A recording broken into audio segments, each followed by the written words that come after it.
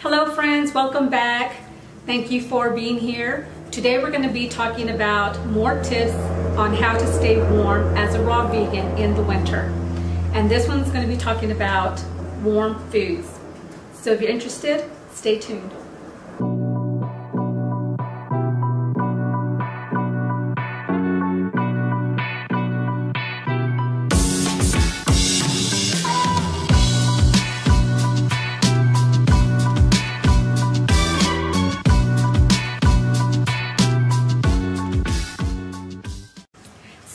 Very rainy and cold here in Texas and it keeps getting colder. Now in my daily routine, what I like to do for breakfast and for lunch most of the time is have a smoothie. And of course, in this weather, I do not want to have a cold smoothie as you probably don't either. So what do I do in this, in this situation? Well, what I like to do is I go ahead and prepare my smoothie the way I normally would, which my bananas, they're frozen. And if I put any berries, they're also frozen. So that means when I make this smoothie, it's gonna be really cold. But what I like to do in the winter is warm my smoothies. And if, in case you don't know, you can warm up your food, including your smoothies, up to 118 degrees. And if you're wondering, you know, well, how hot is that? Am I gonna kill the nutrition in that no, you will not.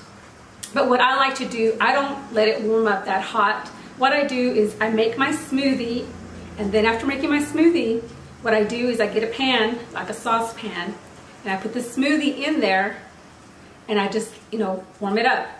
And what do I use to gauge when to stop, you know, warming it up? This. I use my finger. I just warm it to touch. You know, I put my finger in there, is it warm? If it's warm, I stop. I don't let it boil. I don't let it get too hot or anything like that because I don't want to kill any of the nutrients in the smoothie. So that's number one tip. Before we go on, I just wanted to remind you that I have a free ebook. I will put the link below in the description and you can grab your free ebook. In that free ebook, there is warm drinks that you can make for the winter. So don't forget to go down there and grab that. Okay, so now let's say for dinner. For dinner, if I'm going to make a salad, what I like to do, knowing that, you know, it's winter and I don't want a cold salad and that's what I'm going to have, I like to put a lot of the vegetables in the counter and just leave them there. And some of the vegetables that you can leave on your counter, and they won't go bad, you know, as long as you don't leave them there forever, but I don't, they usually don't last that long. So what I like to do is put some of those vegetables and leave them on the counter. That way they're room temperature and my salad will be room temperature. And some of those veggies that you can leave out are like bell peppers, cucumbers, tomatoes, onions, lemons, butter squash, mangoes, avocados, and so on. So, so those are some of the ones that I like to leave out in the counter because that way I know that my salad will be only room temperature. Now as far as the leaves go, like uh, you know my greens, the spinach, the kale, uh, anything, anything green, you don't want to leave out on the counter because those can get bad pretty, pretty fast. Also your berries, you know, blueberries, strawberries, all of those berries, you want to put all of those on the refrigerator. So when you're going to make your salad, if you're gonna use the greens, which I know you are, right? Okay, so when you're gonna use the greens, what I like to do is I like to grab a big bowl, uh, and I like to put like lukewarm water, not hot water, but lukewarm water. And I like to grab the salad that I'm gonna be using for my, you know, to make my salad. I like to put it in there and just kind of, you know, squish it around a little bit, you know, and just let it warm, warm a little bit, and that's it you know, and then I take it out, I drain it, I strain it, I mean, and then I put it in a bowl and I proceed to cut, you know, my cucumbers, my tomatoes and stuff that I'm going to be putting into the salad. And that way you will have a salad that is not cold.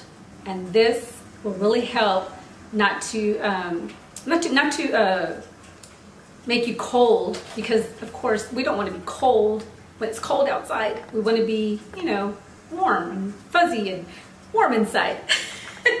anyway, so yeah, so this is this will really help uh, for you to have a lukewarm um, salad or room temperature salad where it's not freezing cold, and that's what I like to do.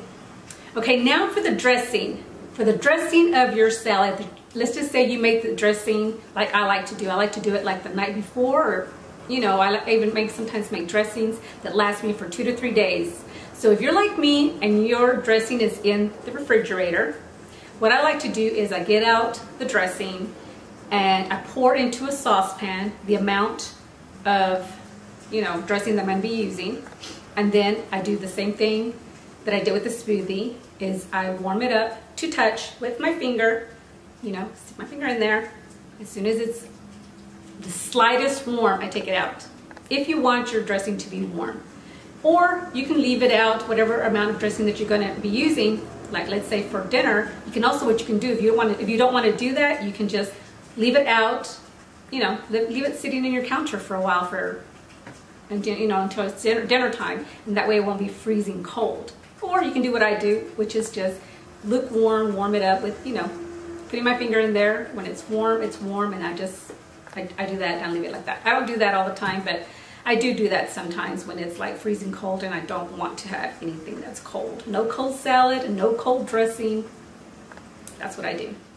Okay, so for those of you who have a Vitamix, and again, you don't need the Vitamix, but if you do have a Vitamix, what I like to do, because sometimes for dinner, I like to have um, soups. And what I like to do is put make my soup in the Vitamix. And the Vitamix, you can leave it on for about two minutes or so, and it will warm up the soup and not kill any of the enzymes or any of the, the nutrition that is in your soup. So if you have Vitamix, you can do that. And again, if you don't, that's fine. You don't need one. What you can do is use the saucepan and just warm your soup to touch. You know, just put your finger in there. Or you can, if you want to, you can even use a meat thermometer. You know, if you want it even warmer than, you know, your finger to touch you can use that to monitor to make sure that you do not kill any of the nutrients that are in that soup. Okay, another tip that I have for you is if you have a dehydrator. And again, you don't have to have a dehydrator, but if you do, one of the good things that you can do is put, like let's just say you're making the salad, you have your salad and you want it to kind of just have it a little warm, you know, not, of course, not hot, so what you can do is you can even put the whole salad, the whole salad boat in your dehydrator and just leave it there. Just leave it there for a while. Or what you can do is, is put all the veggies that you're going to be using that you that are cold, but you want to maybe warm them up a little bit. You can put all of those in your uh, dehydrator and have them warm up or marinate. You can even marinate them, you know, if you're going to do that, and put them in the dehydrator and leave them there for a few hours and they'll be perfect for when you're ready to eat your dinner. And my last tip, another thing that you can do is use a warm plate. What do I mean by that? Well, sometimes I do this. Let's just say I'm going to um, have like maybe zoodles or something like that. What I like to do is I don't warm up, I don't like to warm up any of my drinks or my foods in the microwave. But I do like to warm up my plate in the uh, microwave. So what I do is I put the plate in the microwave and then I just warm it, leave it there for, you know, a minute maybe.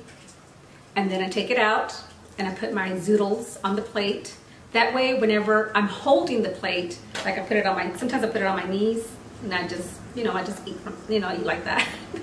or, you know, just the fact of holding the plate and it's warm, not hot, don't let it burn you, be careful. But that alone also helps to warm me up.